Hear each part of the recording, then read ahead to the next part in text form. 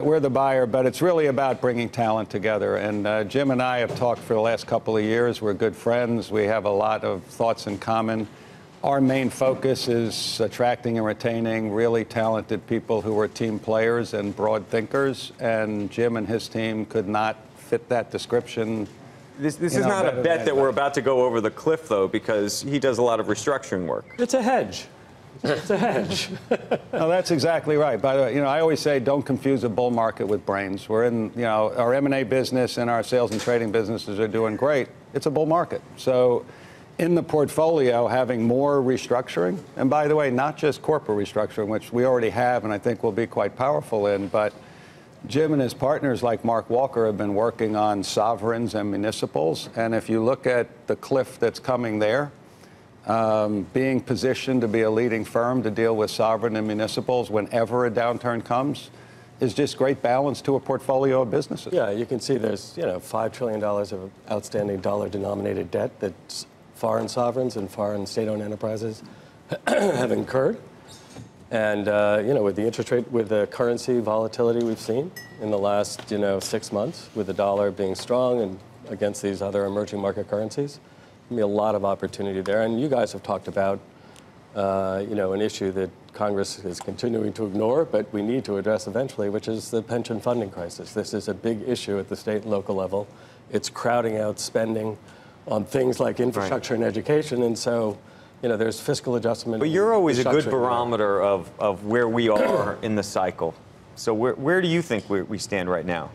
Well, you're at the. we were just talking, by the way, about the market's being propped up effectively by about four stocks. Right, exactly. I mean, if you back out the FAANGs, you know, the S&P is pretty flat for the year.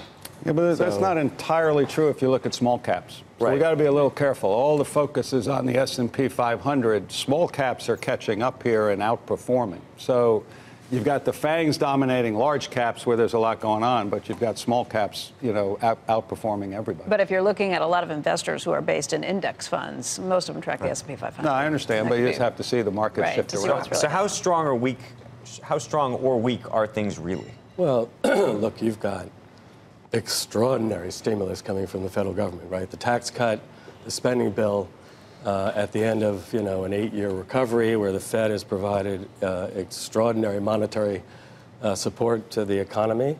The Fed's going the other direction now, or is trying, right, to reduce its balance sheet and raise rates. Um, the tariffs are, uh, in effect, a tax increase. It's so far just starting, but you know these things are hard to stop once they start. And how the administration finds a face-saving way out of a full-scale tit-for-tat uh, tariff war. You know, if you look at what they're talking about, ultimately that's seven percent of GDP that they're going to raise taxes on.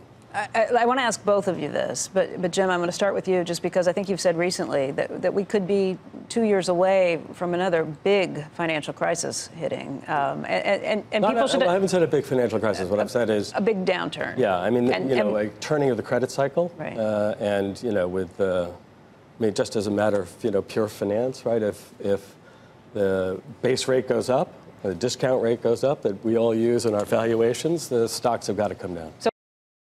Hey there, thanks for checking out CNBC on YouTube. Be sure to subscribe to stay up to date on all of the day's biggest stories. You can also click on any of the videos around me to watch the latest from CNBC.